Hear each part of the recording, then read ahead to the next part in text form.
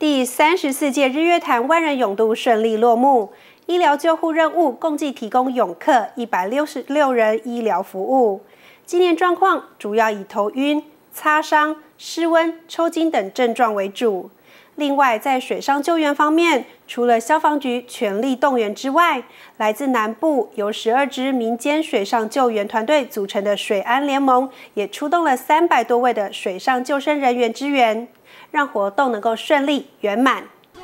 日月潭万人泳渡活动，除了泳客的热情参与，创造单日观光人潮的高峰，另外也必须感谢水上救援团队以及医疗救护团队的全力协助，为泳客的安全及生命把关。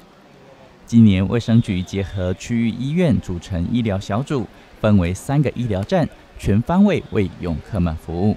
为了我们泳客的安全，总共设置有三处的救护站哈。那第一个站是在义达哨，第二个站是在招务码头，第三个站是在后送点，是在九龙口哈。那我们呢，为了啊，我们这次永渡的泳客的安全哈，我们协调啊中部地区的医院。那除了我们县内的两家医院，普里荣民分院、普里基督教医院之外，那这次我们也特别商请了彰化秀传医院来担任我们这次的救护的一个。平台的单位，那整合彰化基督教医院、沙鹿同综合医院，总共我们有这次是动员的五家的啊医院来支援我们这次的啊救护的一个工作哈。那另外我们的啊特别啊伤情啊国家搜救中心的空中救护，我们有总共也安排了一部的救护。救护直升机停在明克洛饭店啊，以备不时之需哈。那我们今年同中和医院的急诊室哈，全力支援日月潭的永渡活动。我们派出四位医师、六位护理师，呃，几乎把一个行动急诊室的规模啊推到日月潭这个地点来。那希望，因为我们这样的充分的准备，可以让整个活动可以非常顺利。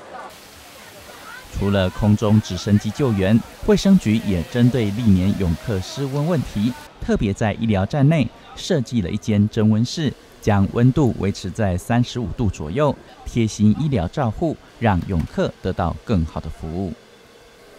除了医疗救护，水上救援工作也相当重要。除了消防局全力动员，南部的水上救生团队也组成了水上安全联盟，全力配合泳渡活动，提供泳客泳渡时的安全维护工作。我们从民国一百年吼，我们水安联盟吼就从十个啊到今年的三百个的一个水安联盟的成员吼，我们包括我们从我们桃园、我们台中、彰化、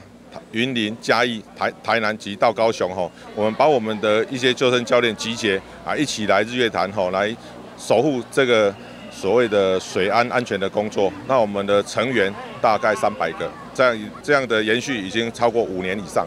当然，每年都充满了挑战哦。那但是我们都是用最好的状态哈，来服务每一个来参加日月潭的泳客。